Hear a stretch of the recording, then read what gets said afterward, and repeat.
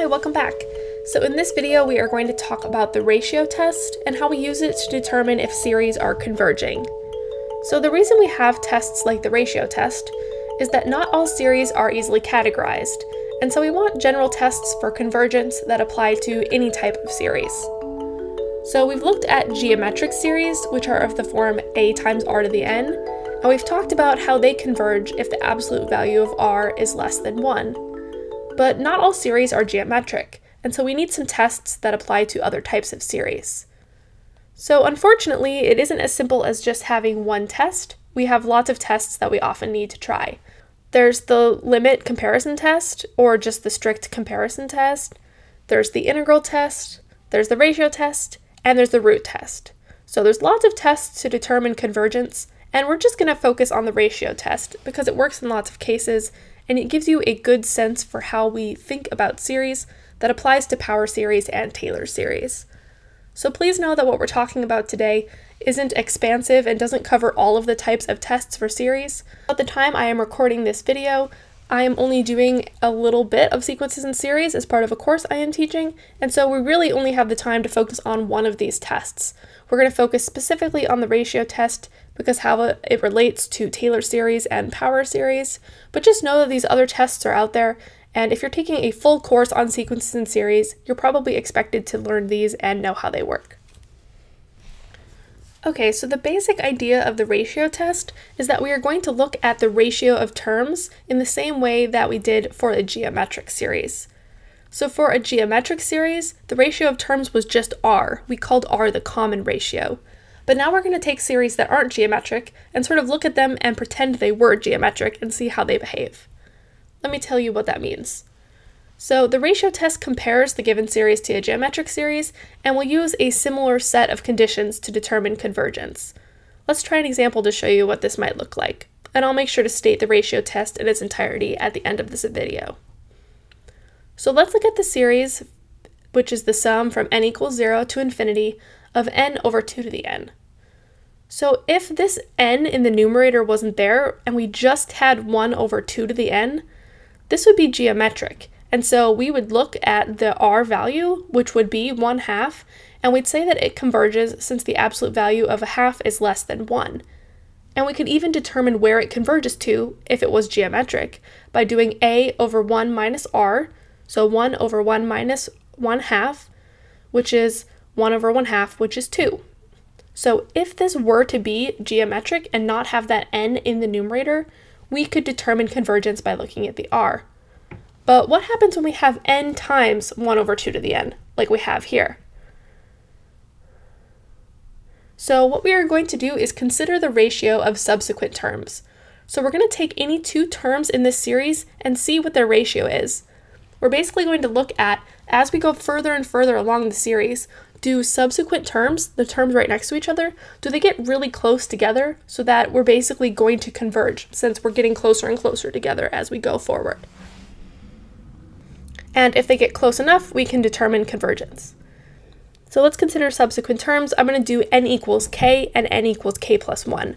So I'm choosing the kth term and the k plus 1th term. So for the k plus 1 term, it's k plus 1 over 2 to the k plus 1 and the k term is k over 2 to the k. And we're just going to simplify this to get something we can manage and see what happens with. So I'm going to multiply by the reciprocal, so I'm multiplying by 2k over k, and I'm going to rewrite 2 to the k plus 1 as 2 to the k times 2. So this is a common technique we do with ratio tests since we often have k plus 1s floating around. I'm going to split that exponent k plus 1 into two terms, 2 to the k times 2. Now I can cancel my 2 to the k terms, and I'm left with k plus 1 over 2k. Now I can go even further and split this up. So I'm doing k over 2k plus 1 over 2k, and I'm getting 1 half plus 1 over 2k. So I'm doing all of this just to get it as simple as possible because I want to consider what happens as k approaches infinity, so as we go further and further into the series, so we look at further and further terms away, does the ratio get small enough to create convergence? That is, if we call this r the ratio, does the limit as k approaches infinity of r, the absolute value, get less than 1? So the absolute value is finding the distance here, sort of like just the positive distance between the two. And we're seeing, is it small enough? Is it less than 1? And if so, then we will have a convergent situation. So here, if we look at the limit as k approaches infinity of r, I'm looking at the limit as k approaches infinity of 1 half plus 1 over 2k. So as k approaches infinity, that term with the k in it is going to zero since we're dividing by larger and larger numbers as k approaches infinity, and dividing by larger numbers means you have smaller pieces left over. So I'm really having 1 half plus 0, which is 1 half, and 1 half is less than 1, so this converges. Basically, when we look at the ratio of subsequent terms, it gets small enough over time that we're adding smaller and smaller pieces, small enough to converge. Now, we can't determine exactly what it converges to using this method, but we can at least conclude yes, it converges. Also, just a comment to do this formally, we use absolute values around r, one of my pet peeves is that mathematicians just kind of slap absolute values on things and move them around and get rid of them without explaining why. And unfortunately, I'm going to do that a little bit here, but the main idea is that it actually doesn't matter most of the time since k is going to positive infinity. So everything we're dealing with is positive already, and absolute value does nothing to positive values because they're already positive. So that's part of the reason why we're just sort of getting rid of them. Truthfully, I just don't really want you to worry about it too much. It's just the formal way to do it, and so I would feel like I was leading you astray if I didn't include it here.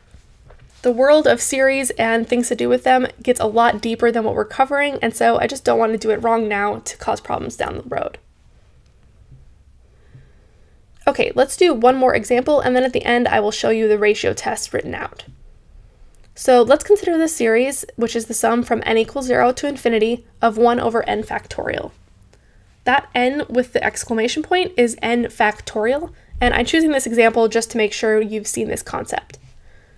So like I said, n with the exclamation point is n factorial, and it represents the following. We start with n, and then we multiply it by n minus 1, we multiply that by n minus 2, times n minus 3, etc., all the way until we get down to 1, so we're basically taking n and multiplying it by every number below it. So if we were to do 6 factorial, that would be 6 times 5 times 4 times 3 times 2 times 1. Then 100 factorial would be 100 times 99 times 98 times 97, etc., all the way down until we get to 1. So that factorial notation just helps us represent a really long quantity of a bunch of things being multiplied together, and it gets really big really fast, so 6 factorial is actually a pretty big number, so it helps to just write it as 6 factorial. Okay, so let's look at this series, which is 1 over n factorial. So if we look at the terms, we're starting at n is 0, 1 over 0 factorial, then we do 1 over 1 factorial, plus 1 over 2 factorial, plus 1 over 3 factorial, plus 1 over 4 factorial, etc. So we take the convention that 0 factorial is just 1, so I'm getting 1 over 1 plus 1 over 1.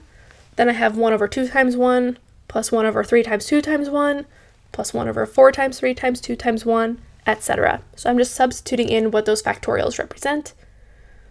Then I'm actually getting 1 plus 1 plus 1 half plus 1 sixth plus 1 24th, etc.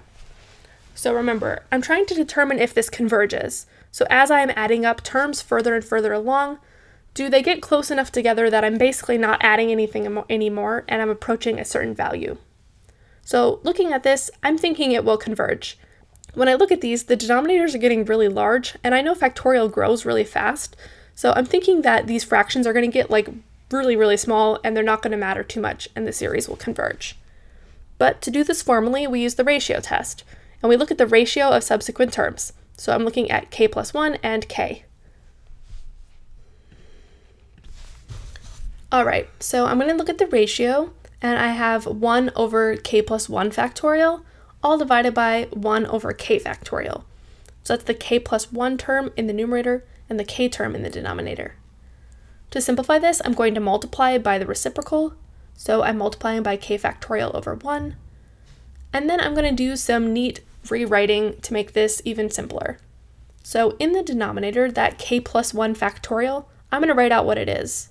So it's k plus 1 times k, that's 1 less, times k minus 1, 1 less, times k minus 2, etc., all the way until we get to 1. And looking at this, it's really k plus 1 times the rest of those terms, and the rest of those terms are k factorial. This is a common way that we simplify k plus 1 factorial. We take the k plus 1 out, and what we have left is k factorial. So what I really have here is k factorial over k plus 1 times k factorial. And simplifying that, I'm just getting 1 over k plus 1. So this technique where we take k plus 1 factorial and rewrite it, we do a lot. So you'll see it anytime we are doing ratio test with a factorial. So I'm getting that the ratio of subsequent terms is 1 over k plus 1. And we want to look at what happens to this as k goes to infinity, so as we go further and further into the series. So I'm looking at the limit as k approaches infinity of the absolute value of r. Here, as k gets really large, the whole thing is positive, so I'm not worrying about the absolute values. I have the limit as k approaches infinity of 1 over k plus 1. And when I do this, I'm dividing by larger and larger numbers as k approaches infinity, and so I'm getting 0. 0 is less than 1, and so this means that this series is convergent by the ratio test. Now, we don't know exactly what it converges to just with this, but we know it does converge. This is a pretty neat series, and so I want to show you a graph really quick of the terms. So I've plotted the set of partial sums here to look at what the sums converge to, just to show you this. So we have 1 plus 1 is 2, that's a second point, and then we do plus 1 half, we get 2.5, and then we do plus 1 sixth to the next value, and then we start adding those further terms, and we see that it's converging to something between 2.5 and 3. It turns out that this value is actually e, Euler's number. So the sum from n equals 0 to infinity of 1 over n factorial is e, Euler's number. This totally blew my mind the first time I saw it, and we're going to return to this series later on when we talk about Taylor's series, but I just wanted to comment on it now because I think it's really cool. Okay, so let's talk about what the ratio test says more formally. So if we are given a series, which is the sum from n equals 0 to infinity of a sub n, we can determine if this series converges by considering the ratio of subsequent terms. So we're looking at the limit as k approaches infinity of the absolute value of a sub k plus 1 divided by a sub k. And remember, that's the ratio of subsequent terms. Then, if that limit is less than 1, we can say the series converges. If the limit is greater than 1, then the series diverges. And if the limit is equal to 1, then this test is actually inconclusive.